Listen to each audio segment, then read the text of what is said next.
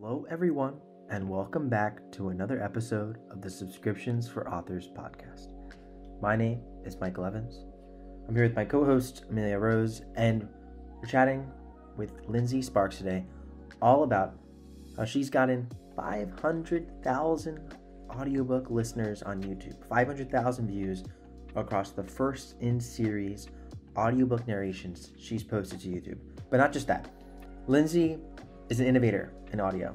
She, in fact, has three podcasts, one of which is a serialized audio podcast, basically, serialized fiction of her narrating out loud her books. And they've gained some traction, enough traction so that half of her overall business revenue is generated from audiobooks. And she's been a full time author.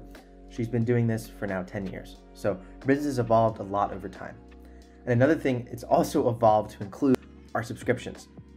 She has over 40 subscribers on her subscription and makes hundreds of dollars a month in subscriptions, which is great. That definitely adds up over the course of a year. But she's beginning to make subscriptions the core of her business, the center of what she does. So we're going to be talking today from an author who really kind of gained traction in KU. That was where she was able to build a lot at the beginning of her career. Then she transitioned from KU to going wide, and now she's transitioning from being still a wide author, still having her books in all these retailers, still making good money in all these retailers, and still being able to find new readers in these retailers. But ultimately bringing her super fans into a subscription where she gets to have a closer relationship with her. They pay her monthly for things like early access to her works. There's art included and a lot of other interesting and awesome benefits. We're going to hear all about the breakdown of her subscription, how she promotes it, Lindsey's very innovative audio strategy. And we'll even be talking a bit about AI art, which is something that I just want to warn everyone up front. Copyright issues are very, very difficult and murky, and it's very difficult to monetize AI art. So we touch on that. But I definitely just want to let everyone know up front that. And then also that at the end of the day, we care about humans. The humans we care about, our readers, our families, our loved ones. We all care about different people, but we care about humans.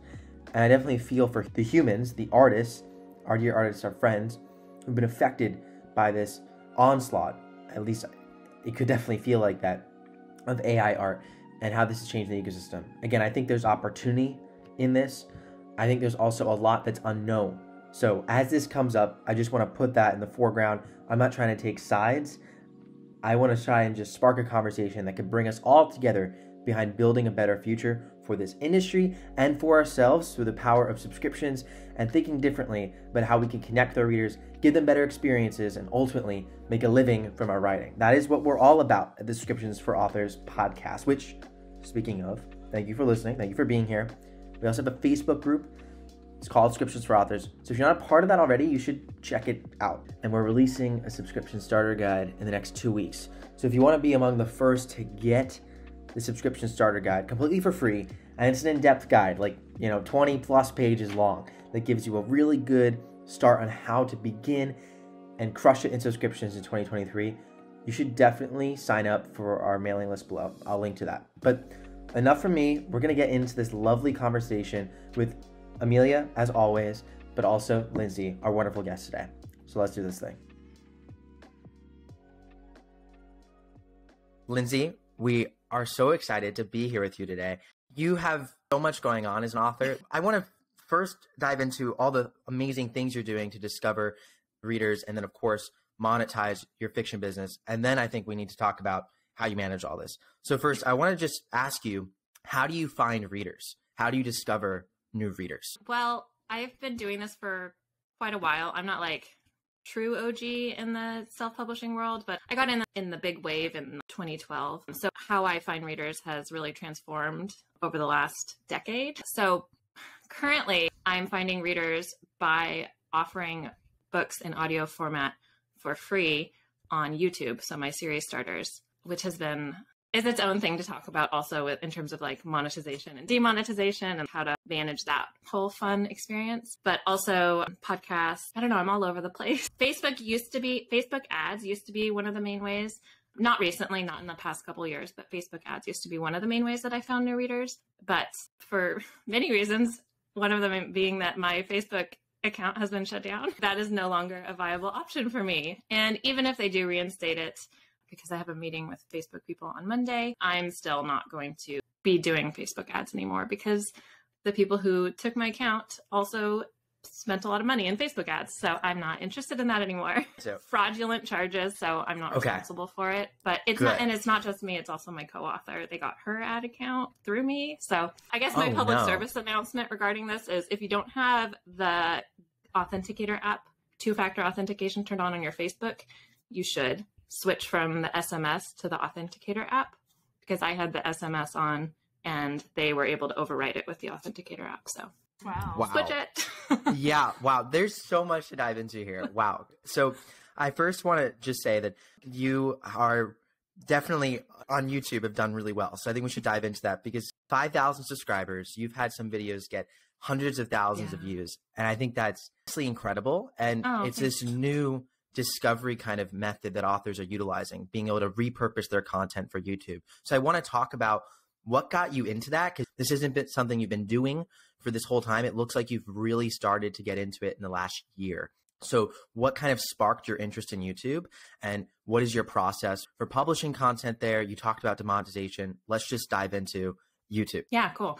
I honestly can't remember when I started YouTube, if it was this January or 2021 January, but it was one of those Januaries where I uploaded my first in series. I only do my first in series audiobooks on there, the professionally narrated Mm. audiobooks. And audio, I've always leaned really hardcore into audio because audio is my main way of reading. I just really wanted to appeal to those readers. I have highly prioritized it. And because I highly prioritized it, I also always sought out really amazing narrators. So I think one of the reasons that one of my audiobooks on YouTube has done so well is because it's narrated by Julia Whelan, who's like a superstar in the audio world. And she did like Addie LaRue and I think Nora Roberts Year One, a bunch of stuff. She's mega huge. So that's my number one like viewed YouTube video. It just has a still frame of the audiobook cover. But I also Very on cool. YouTube I do video I do a video recording. I also put it up as a podcast other places of me reading my books and I'm working through my entire catalog because I love reading out loud. So I am reading I've started with one series. I have like 5 series, maybe maybe 6, I don't know. But I'm just going through like series by series and that's called Read by the Author. And it's really fun. That one's more just like for fun, but it's actually doing pretty well and it keeps gaining more momentum. So I'm really excited about that. And then I have something else that's not on YouTube, but is going to be on YouTube. But I will talk about the demonetization, which I actually managed to coast along pretty long being monetized before they demonetized me. And the reason they gave me for demonetizing, so that at this point, when they did demonetize me, mm, I want to say it was like maybe four months ago, they said it was because I was using unoriginal content and there were copyright issues and stuff, which I think is pretty common for people who put audiobooks up there. And I think one of the things that flags it also is when you have a still photo on there with just audio. Like YouTube wants Uh, video content and they want original video content that's not up elsewhere. I had just audio content with a picture. But I also had a bunch of videos of my like podcasts and then like the video versions of my podcasts. And so I think that saved me a little bit when I did my appeal. But the main thing, if anybody is on YouTube with their audiobooks and they get demonetized, like do a screenshot film or I don't know what you call that when it's video. But anyway, video your screen, record your screen. Oh, a screen recording. Duh. Do a screen recording of your ACX and Findaway voices if you're on Findaway and show like the books that you have on YouTube, show those on the other actual audiobook platforms because the only way to put those on the audiobook platforms is to hold that copyright. So that's what I did. And I was back to being monetized within like a day. People struggle Yeah. with not being able to be remonetized. And I will say that YouTube advertising, which is not a huge part of my income, it's nice, but it's not. When I first started, it was huge, and then it got smaller as less people were listening to the audiobooks than at the beginning. But audio and YouTube together, I would say make up probably about half of my income. So that's definitely paid off leaning into that format. Yeah. That's super interesting. I also want to mention that I, I think I've heard from some authors for you since you had published these books previously and then we're putting them up on YouTube, the audiobooks. The demonetization could be a special problem. But for authors who are about to publish a book in audio and haven't put it on any retailers yet, I've seen that it works when you put it on YouTube first. That's kind of like they know you own it and then you publish on other retailers.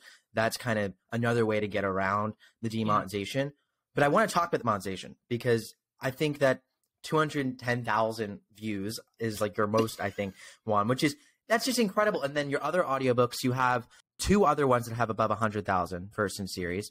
And then your other ones all have tens of thousands of views. So I want to first talk about if you're comfortable sharing, mm. what would AdSense look like?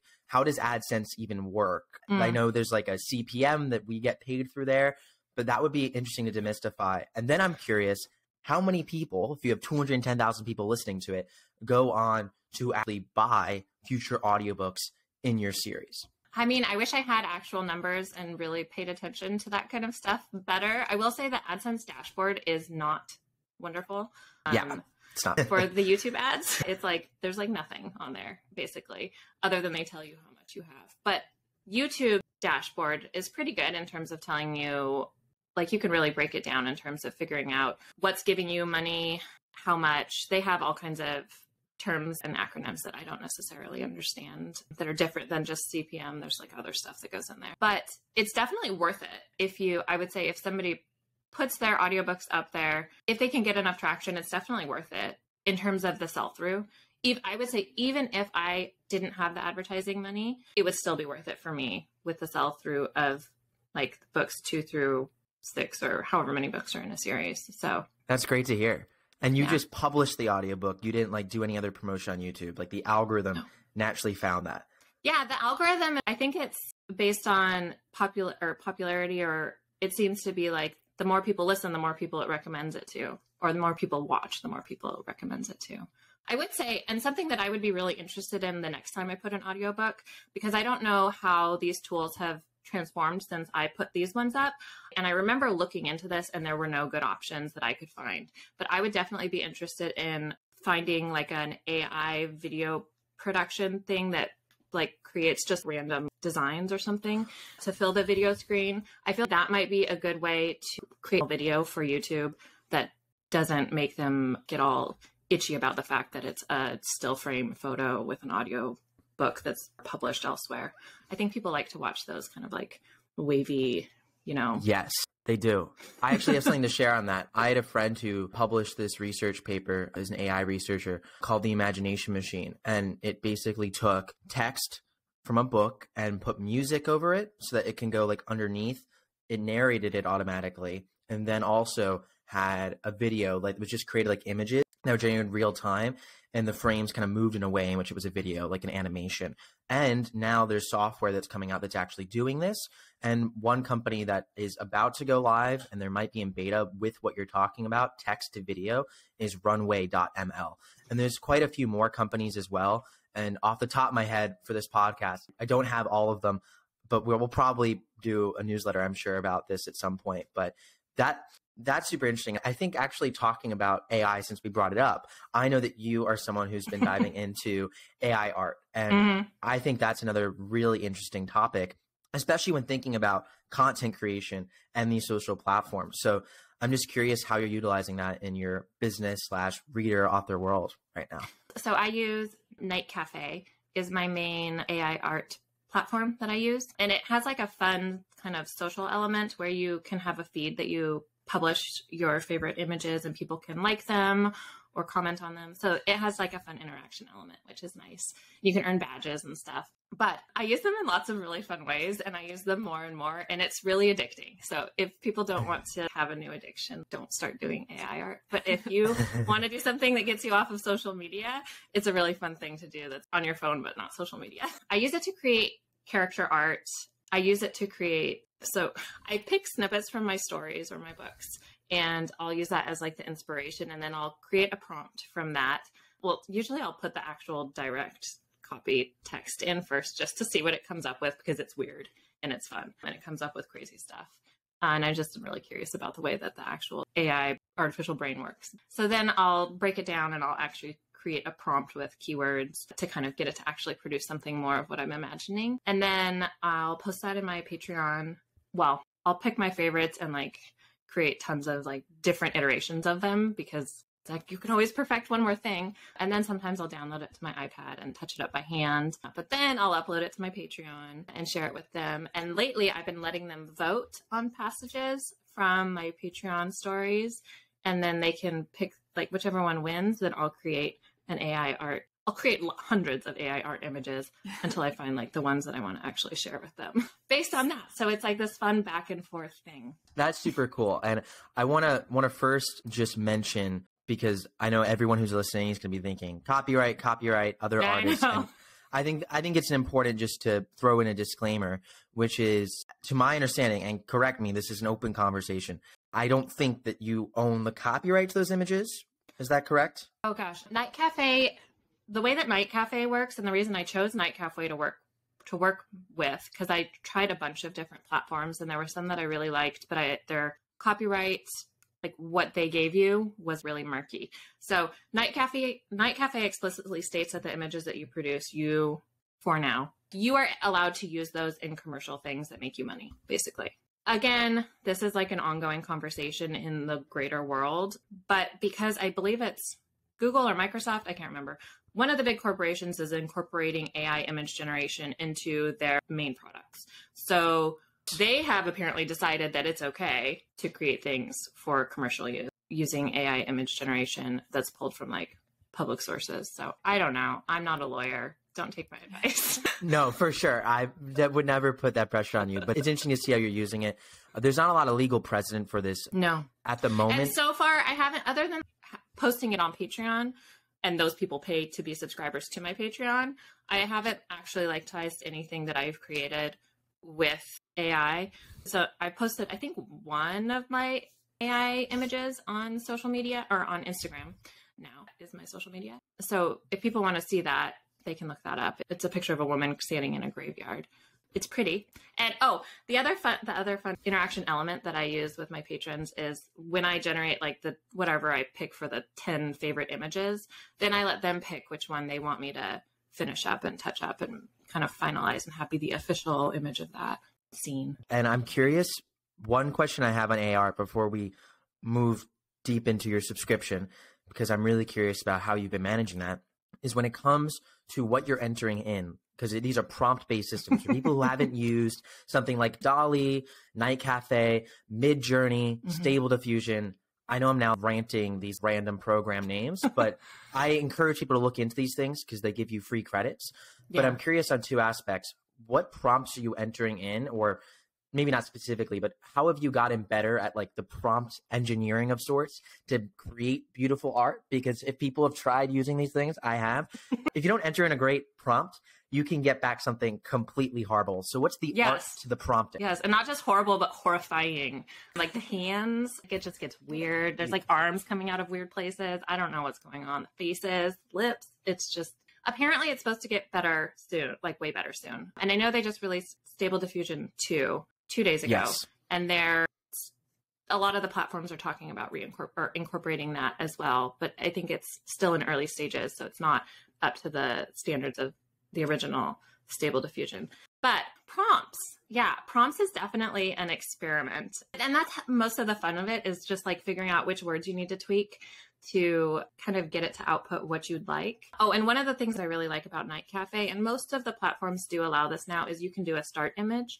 So that can help Mhm. get Oh. you going.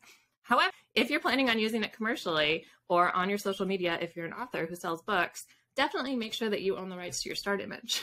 Uh, I will say that. You can definitely like download, you know, something from Shutterstock or Deposit Photos or something and use that as your start image. I do that sometimes if I have been able to find something that's similar to what I'm talking about in my prompt. But it gets really complicated when you're trying to recreate scenes from a book because you have the background or the setting and you have the character.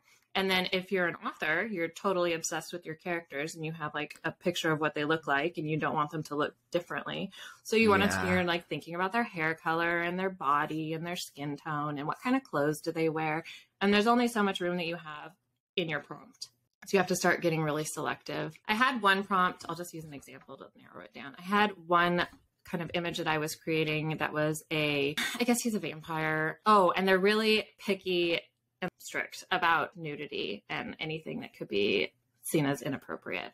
So he's a vampire and he is shirtless in this scene, but it's they kept trying to put like a wife beater on him. It's like, Oh my god. guys. Oh, and they do weird stuff with muscles too. I've tried doing AI art with I do steamy romance, and I've tried to do like guys, and they come out terrible every single time. It's either the face that looks messed up, his lips are like Yeah. where they're not supposed to be, or his muscles are very, very weird. I don't know. I don't know another way to put it. And they're he's like Yeah. muscular, but he's not at the same time, and it's just yeah. yeah. So Yeah, it get you definitely I would say that the key to getting good images with AI art, well at least with stable diffusion is what I have the most experience with through Night Cafe, is to just you just iterate over and over and over and over and over. So you're just constantly evolving these images and moving it closer and closer to what you're imagining. But that that's coming from somebody who's not doing it just from pure creation of something beautiful standpoint, but from seeking an actual I'm looking for an actual image that represents a scene that's very specific. So, Yes. in terms of advice, prioritize the things that are most important. So, if you are really, really need your like person who's visible in the AI art to have like a certain hair color, that needs to be early on. Most of mine are something along the lines of like auburn hair. The character in one of my series has auburn hair. So, auburn haired, beautiful woman. I don't know if you wanted to have like glowy skin, you could add like goddess or something. Usually, then they'll add old fashioned flowy dresses. So, if you don't want them to have old fashioned flowy dresses, you have to say something like modern clothing. But then, if there's like stylistic options, Mm. you can put anything you want, really. Though there are like banned keywords like child for obvious reasons. Right, right. Yes. Yeah. Or like, you know, different genitalia parts and stuff like that. You can't put that stuff. But then there's other random words that are not allowed. And I can't think of what they are. But oh like I think I don't think you can do teenager even. And it's so that's an issue if you have like a teenager character that you're trying to show. I think I've been able to do like young woman or maybe not young. Maybe young's not allowed either. I don't know. I had like an issue for a while where I was trying to get a character and it just kept kicking it back and saying it wasn't allowed. But yeah, and then for the setting, I don't know, you just it's really just a lot of playing around. But definitely prioritize the things that are most important. And then after you do that, you can add like the stylistic options. And if you want to get iffy with the copyright and, you know, play fast and loose, then you can start adding artists' names. But I try to avoid that because if I were an artist, I wouldn't necessarily want people to be, you know, using all of my work that I created, really, really putting my heart and soul into it. I wouldn't want people to just kind of cheat and use that to create their own artwork really fast, like thousands of images. So I just try to respect people, artists, in that way. I think that's really fair. I think at this point, with this being such a new thing that we can all use, and it's something that it's also relatively inexpensive to be able to generate these things, it's dangerous in a sense to people who are making a living creating images that are being used for book covers. It, it can stoke fear in people, and I understand that. And I think that you're using it in a really interesting way, focusing it on your subscription, nurturing, mm-hmm. building relations with your super fans, and obviously being careful about not ripping people's work off or Yeah. maybe it's not your next book cover necessarily but there is a degree of art required and even being able to do it as well so it's something that i think a lot of people might take a lot of time to get good at may even find that it it's, becomes expensive with certain credits to be able yes, to it do does. Right? So sometimes some things are best left to the professionals even then. But I am curious to actually ask you about your subscription and about kind of your tiers because you have a $5 tier, a $10 tier, and a $15 tier. And it seems like most of it is focused around early access to your work, whether it's audiobooks you get on like the higher tiers and the mm-hmm. also early release arcs, like the ebooks. And then you're also getting access to serial fiction chapters, Mhm. uh, your work in progress chapters. You have a lot going on. So I'm curious how you manage it and what time it takes in a month. Is it something that's worth it for you? Because I get a sense that it's a smaller part of the grand Lindsey Spark writing Yeah. empire. It is, but I would love for it to be the larger part of my writing empire, hopefully. So I will say this is my second attempt at Patreon. a few years ago, I set up a Patreon, but it was like much more to have like some people physical books and stuff. I didn't like it. I was not. I don't know. I get the shipping is always an issue for me, and actually getting Yeah. myself to like send stuff. So I decided to remove that. So I restarted it, totally revamped everything. My $5 tier is all serial fiction and like bonus stories and chapters and stuff like that. That's the only thing that's on that one. The $10 tier is all of that stuff. Well, I guess there's AI art in that one too, and they can vote on the AI art. I used to have a $3 tier, but I retired that. That one was no Hmm. voting rights. The $10 tier includes advanced reader ebooks and audiobooks as soon as they're ready. Like, so the day that I upload them to ACX, I also send them to my patrons. And then the $15 tier, the only additional thing for the $15 tier is people get access to my work in progress chapters. The day that I write them, I also do a post with a link to that chapter. It just links back to my Google Doc that has that chapter in it. So I'm not I basically have tried to minimize the amount of work that I have to do that's extra for the Patreon. And it really, the serialized fiction part is probably what takes the most extra time for me because the work in progress chapters, I'm already writing those anyway. And the ebooks and the audiobooks, I'm already getting those ready and sending those out anyway.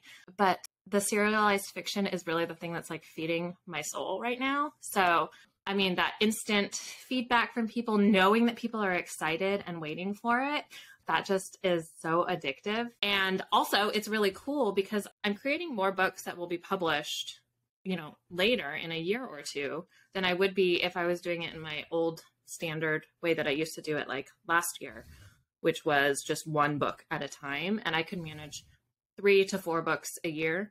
But now I probably added like an extra book or two a year just by like this adding the serialization or the serials. And for some reason like my brain likes switching between projects. Like it keeps me more excited about it. And each project is totally different. I hop genres like crazy within the science fiction and fantasy realm but i was never smart about staying in my lane. I don't like lanes. And then the bonus yeah. stories i started this one in june this version of my patreon in june and it slowly kind of grew. Originally i wanted it to be just steamy spicy bonus chapters for my books where I had maybe faded to black or closed a door. My books have steamy scenes in them, but I try to only include the ones that are actually necessary to the story. Even if I have other ideas in my head, if they're not necessary for the story, I don't include them usually, but sometimes I do. So this was a way for me to kind of get those stories that were in my head out. And I knew people wanted to read more about some of my characters and their private times. So that's what it started as. And I had mm. an idea for a vampire, a reverse harem vampire serial. And I didn't want my mom to read it because it's extremely explicit. So that's how it always is. I wanted to put it behind a paywall. I love that. So mom's not going to read it when it's no. when it's on Patreon. No, and it is going to go public eventually, and I'm going to be like, "This one's not for you, mom. Not for you." Is so I'm curious because you have a pen name as well because it's mm. Lindsey Sparks and Lindsey Fairleigh. Yeah. Would you consider a pen name for that? And how does like do the pen names intersect in this subscription? Oh, my pen names are totally unintentional. My pen names are so Lindsey Fairleigh was my I was divorced and remarried. So Lindsey Fairleigh okay. was my previous name. And then I have kids now and I wanted them to see and my real name is Lindsey Sparks now. And I wanted them to see mom's book or have mom's name on them kind of Aww. thing. I don't know. It was really important yeah. to me. And the way my brain works, once I get an idea in my head, like I have to do it. And I have to do it now. That's so awesome. I was like, all right, I'm changing my pen name to my name.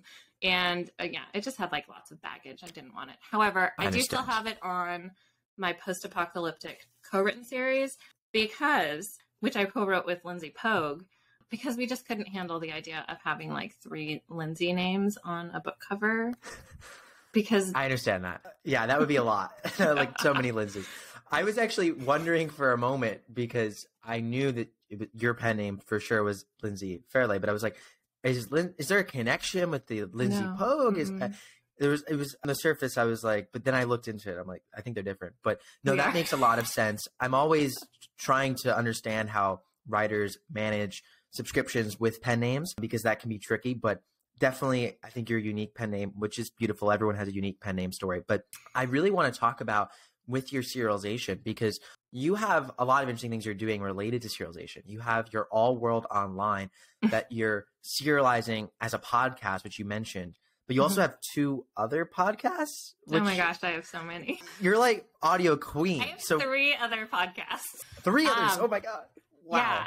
Yeah. Okay, so All World Online, which is my most successful podcast, and I still I didn't do podcasting is so funny. So I know that people do a lot of like marketing and stuff for podcasts, and I haven't done any marketing for my podcast or for my YouTube. So everything that's happened has been purely organic in those two realms. Which is interesting and unique. And like maybe there's something to say about that or to look at there. Maybe it's a larger audience and a less saturated market. I don't know. But I have All World Online, which is so super weird. So it's a lit RPG light Pride and Prejudice mashup. I love this. Yeah. This is beautiful. it's really weird. I recorded it myself, released it on audio first, and then when it was done, I released it. I got it edited, the actual Word document edited. I went through my normal process editing, proofreading, formatting, put it out as a book. So it is out there, published now, like normal. But it's also re- it's a spinoff from one of my series that is not an audio serial. So I don't know why I decided to do that. but there's like some confusion there in terms of like what connects to what. Anyway, so they're all in book format now. But I had to then pause All World Online, which is very successful in a podcast and gets like over a hundred modes a day with me doing nothing. Wow. I know. That's uh, but really I, like, good. I haven't done any more seasons of that because I'm waiting to finish the series that it's related to because that series needs to end before I can continue. Like chronologically, it has to go that way. And so this has been paused for like two years with nothing happening on the podcast that's still going really successfully. And I have people asking me, like, when is the next season of All World Online going to come out? But I'm definitely going to work on it in 2023. So I'm really excited about that because I am planning on wrapping up all of my traditional, not trad- I'm not traditionally published at all. That's not what I mean, but my like conventionally written books like that I write one project at a time. And I'm planning on going 100% into serializing my books on Patreon first and then going through my normal production, post production routine. Right. So it's That's- just more fun. Wow. this is amazing. I want to actually just share with people because I think when they hear your story, people might think it's an outlier. In many cases, you're doing excellent. So I'm not trying to promise that everyone will be able to post an audio serial and do incredible. Obviously, the most important thing is write an amazing story.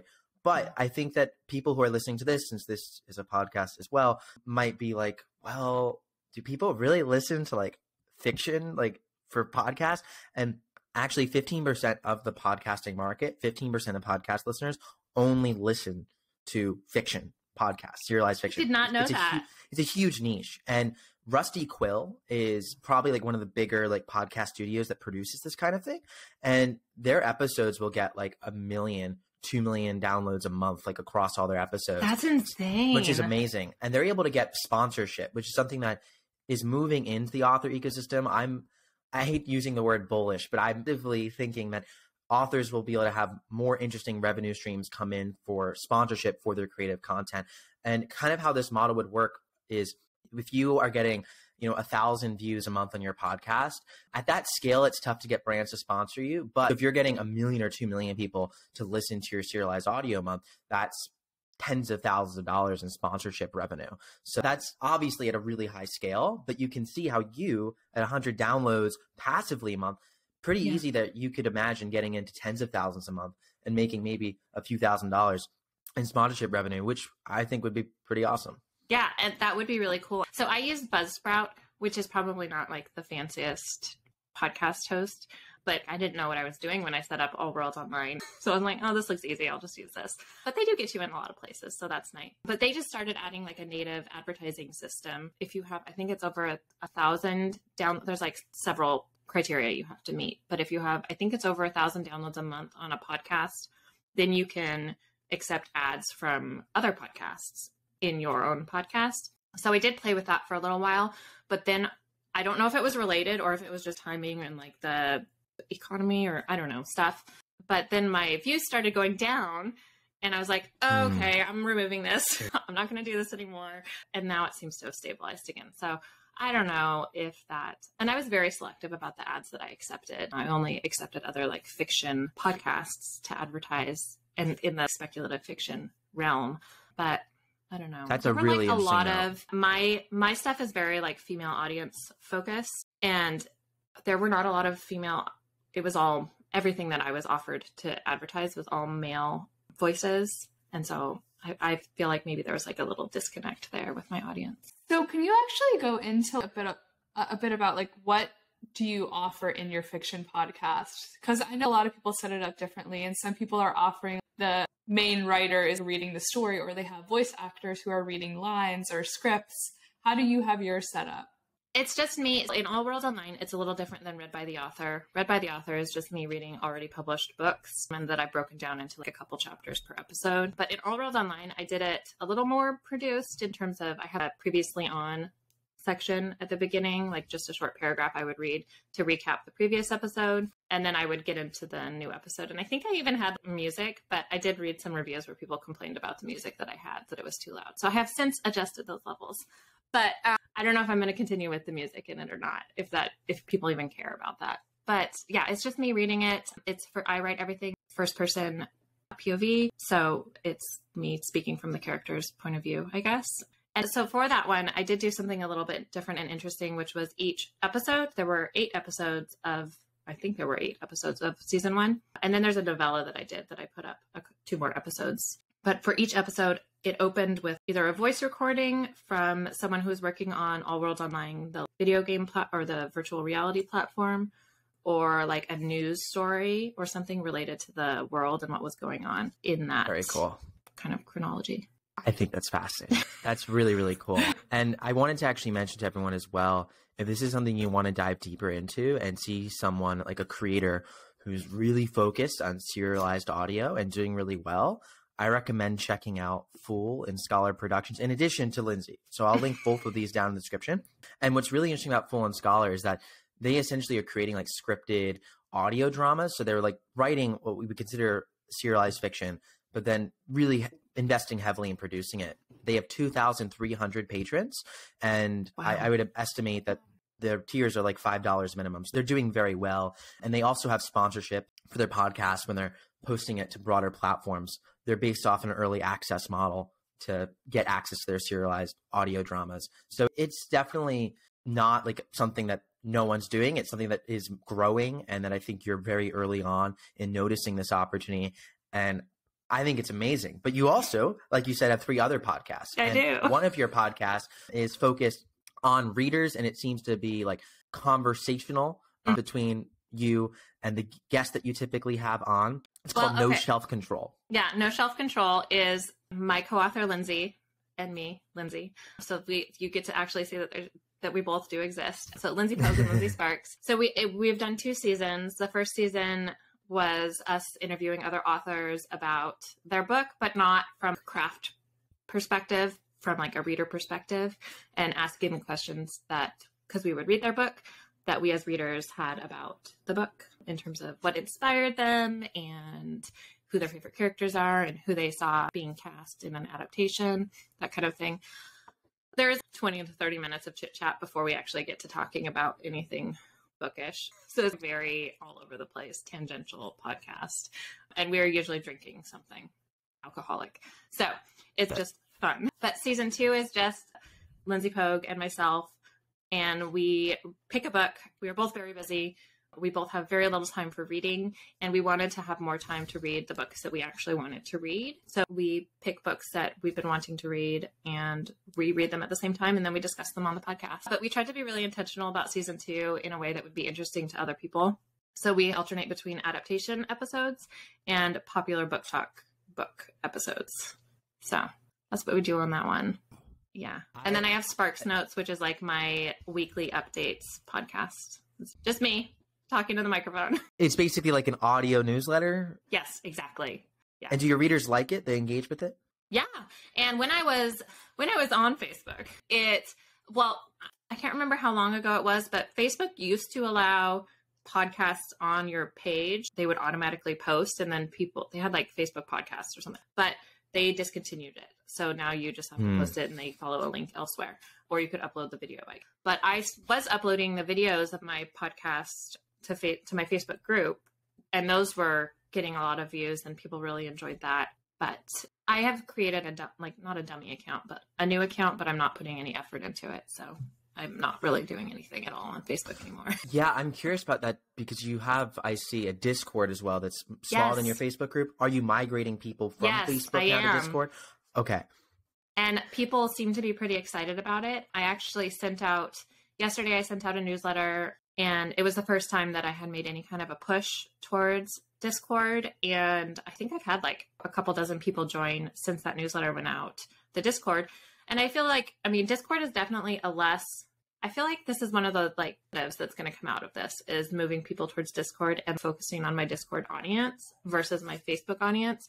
And I feel like the big positive there is, and I'm trying to say this without offending anybody, in terms of organic social reach from peer to peer kind of people mentioning my books and spreading the word, I feel like it's more likely that the younger audience that's on Discord is going to have a more, I don't know, viral reach than the older audience on Facebook. And again, I'm trying to say that without offending anybody or be ageist. But Facebook, my especially my Facebook audience is definitely skews much older than my the people who are on Discord, which appeals a lot more to like the gaming people because that's kind of where it started, right? So I'm hoping, and I'm planning on, I'm like starting my street team finally, way late in the game, starting my street team. Almost a decade in now. I don't know what my deal is. So my assistant and I are reaching out to influencers on Instagram and BookTok, but we're going to have it be like, instead of putting it in a Facebook group, which is what we were originally going to do, we're going to have it be centered in a Discord channel and just have everything. We're just, I'm just going to move everybody. You know, if people want to stay active in my Lindsey's Lovely Readers community, they're going to need to move over to the Discord eventually. And we're just going to eventually end up kind of not putting so much attention into the Facebook group. So. Yeah, I think that's very valid. I see a broader trend over the probably the next five, ten plus years of authors and creative people moving their audiences to platforms that they can have a more direct relationship with, platforms of maybe communication that they own. And I think authors in many ways have understood the importance of this very core with mailing lists, right? Like yes. that's been something that we've talked about for I think forever since I've joined this community like 5 years ago in publishing. It was something that was pretty made obvious to me like start a mailing list. But with what you're saying because most authors might have a mailing list mm-hmm. then maybe they'll publish their books on Amazon, KU, and there's no right or wrong model for publishing. I think people who listen to this podcast know that we're just exploring people who are innovative and really crushing it with all these interesting different models and ways of publishing.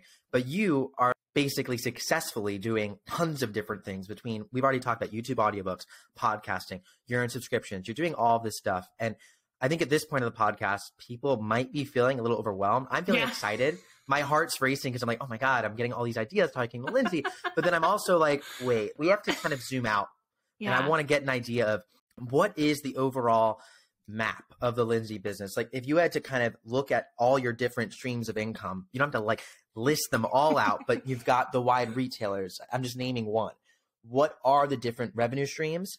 What are the different discovery streams? So how are you bringing your readers into your business? All the different ways, at least that you can sum up how are you interacting, nurturing them, maybe through a Facebook group, your podcast that you're having to readers. Like, I don't know. If we can get like the world building map of your business, yeah, I think that'd be really cool. Well, and I do want to start by saying this I didn't just like do all of this all at once.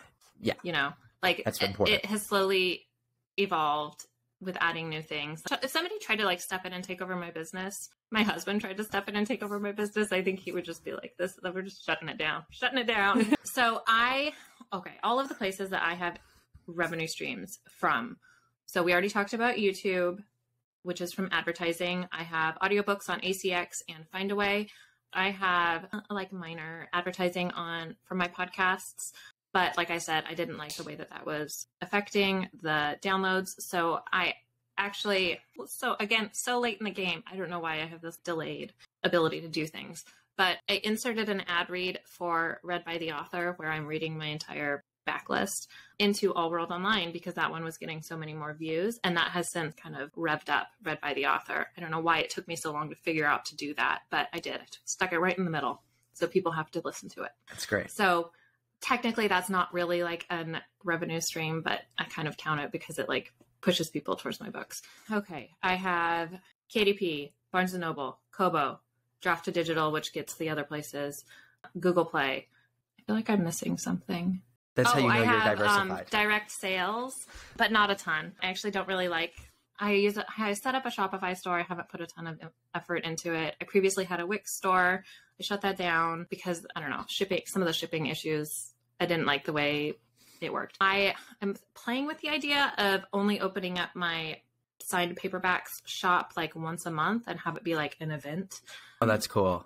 I like that, like a drop, like a book yes. drop. Yeah, and drops are so popular right now. So a lot of the like fan art artists, illustrators have monthly drops and stuff. So I'm like, Right. this is a term that people are becoming more and more familiar with. So the signed bookstore is opened and also have like something special for that month. I'm just gonna like add more stuff to what I'm doing.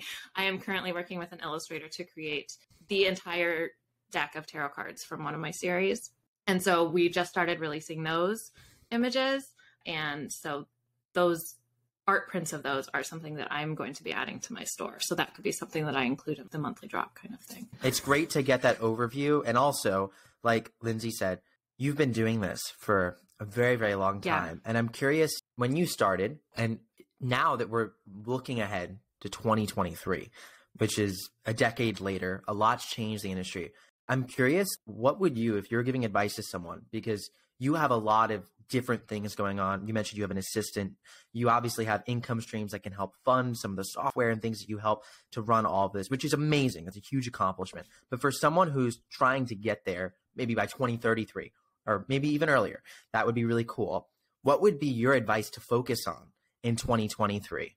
Oh, that's so hard because it's changed so much. I don't know. I feel like if somebody was just starting out, I have like I have such conflicts about KU. I was in KU for a long time. I made a lot of money in KU, but I feel like if somebody it depends on what people's motivations are. So if somebody was becoming an, a writer and want and wanted to make money from their books to be able to do it full time, kind of retire from whatever else they're doing. I would say start in KU maybe. The issue with that advice is it's really easy to get stuck in KU because the money is really good. And when you switch to going wide, it takes a really long time to even get close. It's hard because it's like it depends on how much money you have to put into your business. I would recommend everybody do audio because that for me is a completely passive income. Like I don't do anything to promote other than reading my books and a podcast. I don't do anything to promote my audiobooks. Everything is either tied to my ebooks being promoted or just however people are finding them or tied to the narrators or I don't know, word of mouth, I guess. But now through YouTube, that's definitely leading to a lot of sell through of my audiobooks. And Chirp, Chirp is amazing. If your audiobooks are wide, definitely definitely be submitting your audiobooks to Chirp. Highly recommend that. Try to think long term even though it's so easy to like only think about the short term. I wish I had set up my Patreon and or stuck with my Patreon or just like when I had originally set it up a few years ago because then right now I have my Patreon's not huge. I have 44 subscribers, which is great. I love them and I get a few Big more each month. That's know? great. It is great and I love them so much. And I definitely, like I said, everything is going there first now. Like that is my main priority because I want that to become my main income stream. Very cool. I don't know. I think maybe I would recommend that people like set up. Oh my God, I'm so excited about Ream, by the way. But I would recommend that people set up like a subscription. I feel like subscriptions are the way of the future. So I feel like if you want to make it as an author in 2030, get started now so you're not late to the game. We did not tell her to say this. No, you all. didn't. Um, no, that's in my. very nice. it's one of those things that like I feel like deep in my heart. That's you know a driving force. Subscriptions and audio. Those are my two Well, really important things. for our final kind of talking point before we wrap it up here, I think we really dive into audio. We've talked a bit about subscriptions, but I'm curious. You've made the move from KU to Wide. You made that transition successfully. It's a very difficult one. Mm. And now, in a way, uh, I don't want to word it as a transition, as if you know you're having to move your existing IP around, but you're, in a sense, transitioning your business model into focusing around subscriptions being kind of the core. How are you doing that? And how has that move been going for you? What have you learned as you've been now setting up your Patreon for the second time?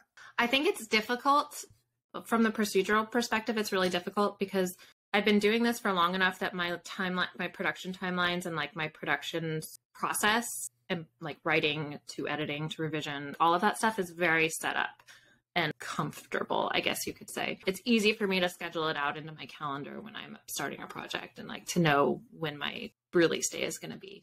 However, so it's a little bit nerve wracking because as I am transitioning into 100% serialization, I don't know when my books are going to be done because I don't know how long they're going to be, or, or like I'm not going to be setting up pre orders while I'm writing them. Whereas before, I have been setting up pre orders before I start writing them. So, Right. because I just know how long it will take me, I am finishing up my two series that I have been writing conventionally. So, one is the third series in one of my kind of greater fictional worlds And I'm on the fence. I'm writing book two for that right now. The work in progress chapters are going up in my Patreon. I'm on the fence about whether or not I'm even going to put up a pre order for book three or if I'm just going to fully transition into writing it as like I release an episode a month for all of my serials, and including that into my like rotation of serialized episodes. And those mm. vary in length from like 2,000 words to like 9,000 words, depending on what kind of I've set up as a standard for that serial. I already have one pre-order. I have two pre-orders set up right now that I have I'm committed to because nobody wants right. to get like banned by Amazon. Yeah. So I need to stick to those deadlines, and that's book two in the series I was just talking about, and then the final book in another series, which is the one that relates to All World Online. But after that, I'm saying like no more pre-orders until I've finished writing the serial and just like freeing myself from that. So that I feel like is the largest struggle for me in terms of the transition because it is a totally different way of scheduling your production as a writer. Mm, very, very interesting. Yeah. And one follow up is how are you convincing readers who have been maybe used to buying your ebooks and audiobooks a la carte to say, hey, like, join my subscription? Oh man, that is something that I feel like I have not fully embraced or fully achieved yet. But I am adding new elements of my funnels, like my newsletter, my automation sequence. Up until two weeks ago, I didn't have anything in it mentioning my Patreon, which is just so silly. Again, late in the game, Lindsey. So I have added an entire email. It's the final email in my sequence. It's like, hey, you know, tells people about my Patreon. It includes the first scene in my Patreon exclusive serial, which is the Vampire Reverse Harem one that's like straight up in the email itself and then they can click to read the rest of it which is free the first episode is free so they could finish it on patreon and then they have to subscribe if they want to continue so i'm hoping that that'll work because i just added it a couple weeks ago i haven't seen like i don't have enough data to see how that's working yet especially because my main one of my main ways of adding people to my subscribers to my newsletter was through a facebook ad and since mm. i don't have mm. facebook ads anymore i am looking at new ways to do that so i'm looking at offering I have a prequel to one of my series that was a newsletter exclusive or a newsletter subscriber exclusive item that I'm probably going to make, put up on, on all the wide platforms for free, and then have the CTA lead to getting book one for free by subscribing, which isn't any big change on the back end for me because book one's already free to subscribers. And then starting the funnel, ending in the Patreon email. So I just have to rethink the way that I'm getting people to enter the funnel I think that's where this current issue is. But also on social media, which I feel like has been the main way that I've been adding people to my Patreon. And I know you guys talk about how social media is not the best way to reach new patrons necessarily. But because I didn't add it to like my backs of my books or my newsletter until recently, that's the only way I've been adding people. So just letting people know about it in my Facebook group, on my newsletter, or in my like normal campaigns that I send out Or we just started posting graphics with excerpts on Instagram, and that has been increasing subscribers a little bit. So that's nice. That's great to hear. I honestly think subscription marketing it's really it's tough because it, there's no one size fits all like you do this and it's going to work. Yeah. And that's all because it's based on your relationship with your readers and ultimately by nurturing that and being able to capture the value of that there's really amazing business opportunities and a better lifestyle that can be had. At least that's the promise of this. Yes. That's what writers like you are proving. But I think that you, being someone who's been in this a decade, who's had established readership and a lot of connections to your audience, that sort of initial awareness of like, hey, I'm doing this now is really important. A lot of times, authors who are newer and who are also at the same time newer to subscriptions are trying to take audiences that they have a bit more of a cold relationship with mm. and you know, boost out their subscription to them. And I would always suggest that like that might not be the best way, but for you, if you have a thousand roughly in your Facebook group, you've got almost I think 900 ish followers Instagram. Those people probably have really deep relationships with your work, at least mm-hmm. a good proportion of them. So letting them know in a space like that's great. But if someone just came to find you in on Instagram and that becomes a sort of new traffic driver for you, if that first ask when you reach that cold audience is hey start paying me monthly that's kind of a poor ask which is why yeah. we say uh, a lot of times if you're finding new audiences on social media having that be your upfront ask start to maybe give your free book first bring yeah. it into your newsletter list. You already mm-hmm. you already know know this really well. Yeah. just reminding everyone at home that we all have different strategies based on our readership.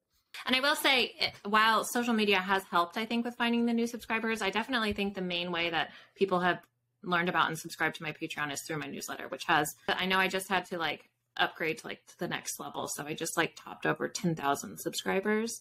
So that's my main connection to my audience. So I definitely would say like that's the main like social media is fun, but like the newsletter is number one. Got it. That's awesome. That's great. Well, Lindsey, I've learned so much today chatting with you, and I'm so so grateful for your time. So thank you so much. Thanks for having me on here. This was really fun. I love your guys' podcast. So oh. I love everything you're doing, and it's a lot. It's amazing. It's very inspiring. That was it. Our podcast with Lindsey Sparks, all about how she not only was able to get hundreds of thousands of people listening to her audiobooks on YouTube, becoming her fans, and buying her audiobooks on retailers, but also about how she's been shifting towards a subscription model, utilizing interesting new technologies, and ultimately continuing to try and create better and better experiences for her readers. Super inspiring to me, and I hope to you as well.